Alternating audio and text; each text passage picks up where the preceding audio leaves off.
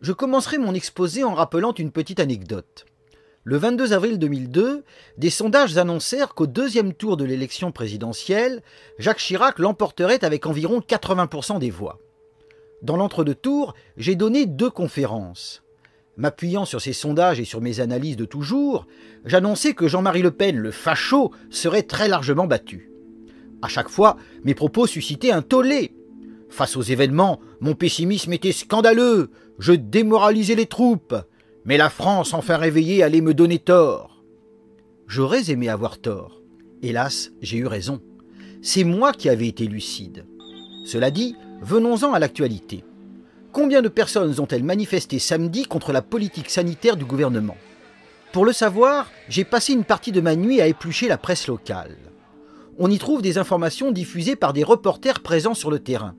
Car c'est connu, les estimations divergent suivant qu'elles sont annoncées par les autorités ou par les organisateurs. Les écarts peuvent parfois dépasser les 500%. Mais de façon générale, les reporters présents sur place jugent impartialement. Ils n'hésitent pas à prendre la fourchette haute si elle leur semble plus crédible.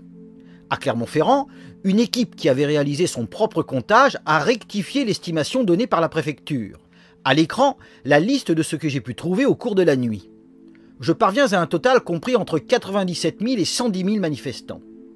Sachant que j'ai omis des rassemblements de moindre importance et sans doute quelques manifestations plus grandes, il convient d'ajouter jusqu'à 10 000 personnes. On arrive alors à un total compris entre 107 et 120 000 manifestants.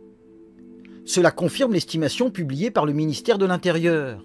Cessons donc de prétendre que les chiffres donnés par les autorités, sondages ou estimations, seraient toujours bidonnés.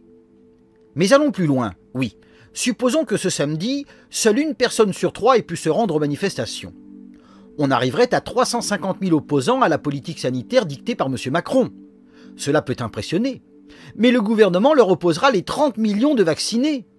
Il soulignera qu'en trois jours, du 12 au 15 juillet, 3 millions de rendez-vous pour une vaccination ont été pris.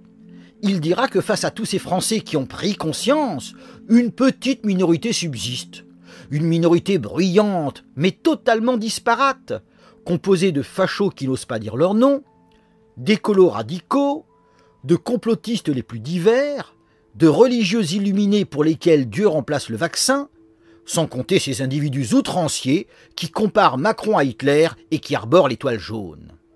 Nos gouvernants afficheront un mépris total à l'encontre de ces gens. D'ailleurs, écoutez le discours du ministre de la Santé.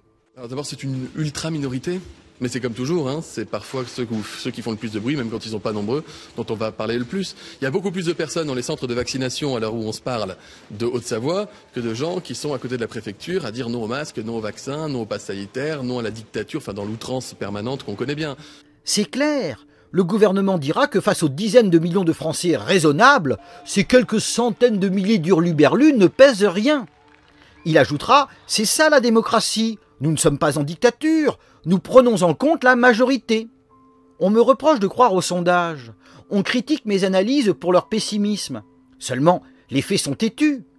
Dans ma vidéo de samedi matin, j'avais prévu quelques dizaines de milliers de manifestants. Quantitativement, c'était certes trop pessimiste, mais qualitativement, non. Rappelez-vous la manif pour tous en mars 2013. Les organisateurs annoncèrent 1 400 000 personnes. Bien que les clichés aériens rabaissent leurs prétentions, le cortège comptait entre 350 000 et 500 000 personnes. C'est de 3 à 5 fois plus que la mobilisation d'hier dans toute la France. Qualitativement, la faible mobilisation de ce samedi m'a donné raison. Les chiffres d'hier ont confirmé les sondages. Dans leur majorité, les Français soutiennent la politique sanitaire du gouvernement. Par centaines de milliers, ils se font vacciner. Par millions, et quelle que soit leur raison, ils acceptent de devenir un QR code. Je ne suis donc ni naïf ni pessimiste, je suis lucide. Reste à savoir si la politique sanitaire sera validée par les instances de la République. L'avocat Patrice Spinozzi en est persuadé, même si quelques arrangements pourraient être décidés à la marge de ces dispositifs. Un constitutionnaliste l'appuie. Quand je repense au raisonnement faux que le Conseil constitutionnel a échafaudé pour valider la loi Guesso, j'ai toutes les raisons de craindre que la politique sanitaire ne le soit aussi. Et quand je pense à la faible mobilisation de samedi, je prévois que si le gouvernement met en place sa politique, cela ne suscitera aucun soulèvement populaire. L'immense majorité se soumettra. Ce n'est pas être naïf ou pessimiste que de le dire, c'est être lucide. Maintenant, jusqu'où le peuple se soumettra-t-il? Là réside la question et peut-être l'espoir. Mais personnellement, je n'ai pas besoin d'espérer pour continuer à combattre. Même si on me démontrait que c'était perdu, je continuerai. Car c'est ce que Dieu nous demande.